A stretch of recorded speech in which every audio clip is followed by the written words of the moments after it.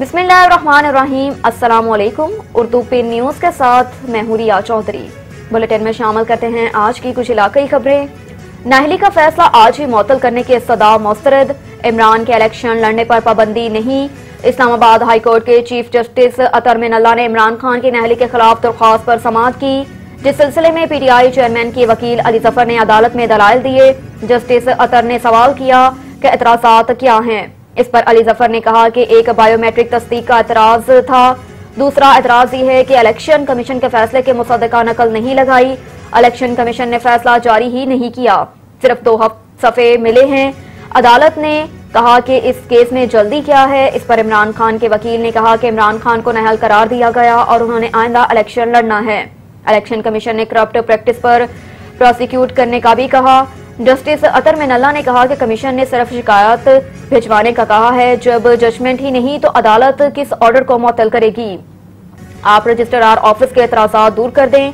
इमरान खान के वकील ने अदालत से कहा कि शॉर्ट ऑर्डर साथ लगाया है। इस पर जस्टिस अतर मिनल्ला ने पूछा कि शॉर्ट ऑर्डर की मुसदा नकल है।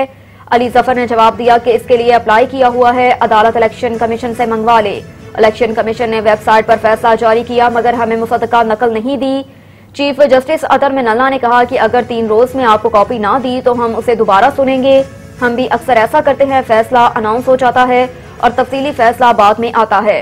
हम तो करते हैं कि तीन रोज में आपको सर्टिफाइड कॉपी मिल जाएगी। इलेक्शन कमीशन ने अपने पंजाब के रुकन से मंसूब सोशल मीडिया अकाउंट की वजाहत कर दी। तर्जुमान इलेक्शन कमीशन ने इलेक्शन कमीशन के मेंबर पंजाब बाबर हसन भरवाना से मंसूब जाली सोशल मीडिया अकाउंट से जारी बयान की सख्ती से तरदीद करते हुए कहा कि तोशा खाना का फैसला चीफ इलेक्शन कमिश्नर और चारों मेम्बरान का मुतफ़ा फैसला है। तर्जुमान इलेक्शन कमीशन ने एक बयान में कहा कि Babar Hasan Bharwana member Punjab election commission of Pakistan के जाली सोशल मीडिया अकाउंट बनाकर उनकी तरफ़ से मुख्तलिफ़ किस्म के बयान पोस्ट किए जा रहे हैं। मेंबर पंजाब की जानब से तर्जुमान इलेक्शन कमीशन ने इस बात की सख्ती से तरदीद की है कि उन्होंने किसी किस्म का कोई बयान जारी किया है। तर्जुमान ने कहा कि मेंबर पंजाब का किसी सोशल मीडिया फॉर्म पर कोई अकाउंट नहीं और तोशाखाना का फैसला चीफ इलेक्शन कमिश्नर और चारों मेम्बरान का मुतफ़ा फैसला है। ऑडियो लीक्स की तहकीकत के लिए इमरान खान की दरख्वास्त एतराजात के साथ वापस। सुप्रीम कोर्ट रजिस्ट्रार ऑफ़िस ने इमरान खान की दरख्वास्त एतराजात लगाकर वापस कर दी। रजिस्ट्रार ऑफ़िस की जानब से लगाए गए एतराज़ में कहा गया कि दरख्वास्त गुजार इमरान खान ने मुतल फॉर्म से रजू नहीं किया। दरख्वास्त में बुनियादी हकूक से मुतल मामले की वजाहत नहीं की गई। इमरान खान की दरख्वास्त ये एतराज़ भी किया गया कि वाजिया नहीं किया गया कि ऑडियो लीक्स मामले पर आर्टिकल एक सौ चौरासी तीन का इतलाक कैसे होता है। याद रहे कि चेयरमैन तरीके इंसाफ इमरान खान ने ऑडियो लीक्स की तहकीकात के लिए सुप्रीम कोर्ट में दरख्वास्त दायर करके मामले की तहकीकात के लिए जुडिशल कमीशन या जे आई टी बनाने का मुतालबा किया था। और इधर सिस्टम ठीक करना अदलिया नहीं एग्जेक्टिव का काम है। अडयाला जेल में कैदियों पर तशद के वाकत के तनासर में केस की समात chief justice Islamabad high court Athar Minallah ने की और सेक्रेटरी इंसानी हकूक अदालत के सामने पेश हुए।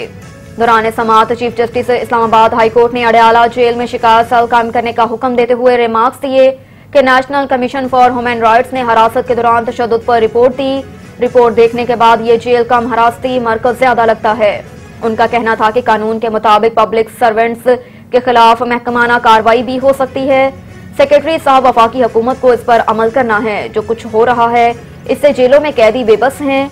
चीफ जस्टिस अतर मिनल्ला ने इस्तफसार किया कि आपने ये रिपोर्ट कॉन्फिडेंशियल क्यों रखी है? हम इस रिपोर्ट को पब्लिक कर रहे हैं। आप इसे वेबसाइट पर भी लगाएँ। सेक्रेटरी ह्यूमन राइट्स ने बताया कि अडियाला जेल में गुंजाइश से ज़्यादा कैदियों को रखा गया। जिस पर जस्टिस अतर मिनल्ला ने रिमार्क्स दिए कि ये तो असखुद एक टॉर्चर और इंसानी हकूक की खिलाफ वर्जी है। कस्टोडियल टॉर्चर जारी है। जेलों में कैदियों की तस्ही की जाती है। ये जेल नहीं, कंस्ट्रक्शन कैंप है। ये जेल नहीं कंस्ट्रेंशन कैंप है। उन्हीं हालात की वजह से जेल का दौरा करना पड़ा। चीफ जस्टिस इस्लामाबाद हाईकोर्ट का कहना था कि ये एग्जेक्टिव के काम है। बेबस लोगों की आवाज़ कोई नहीं उठाता।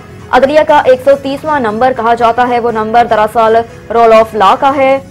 सिस्टम ठीक करना अदलिया नहीं एग्जेक्टिव का काम है। ये बेहतरीन रिपोर्ट और टॉप ऑफ़ दी आइसबर्ग है।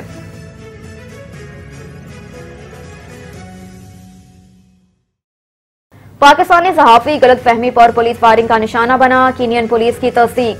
गैर मुल्की मीडिया के मुताबिक अरशद शरीफ को कीनिया के पुलिस ने नैरोबी के करीब सर में गोली मारकर इस वक्त कत्ल किया, जब उनके ड्राइवर की तरफ़ से मुबैना तौर पर चेक पोस्ट पर कवानीन की खिलाफ वर्जी की गई। इस हवाले से कीनिया की पुलिस का कहना है कि पाकिस्तानी सहाफी अपने ड्राइवर के साथ मगादी से नैरोबी की जानब सफ़र कर रहे थे कि जहाँ पुलिस रास्ते में रोड ब्लॉक करके चेकिंग कर रही थी। कीनिया पुलिस के एक अफसर की जानब से जारी बयान में अरशद शरीफ के पुलिस की फायरिंग से कत्ल होने का तराफ करते हुए कहा गया कि गलत निशानदही पर पाकिस्तानी सहाफी का कत्ल हुआ। और इस हवाले से मजीद मालूम बाद में जारी की जाएँगी।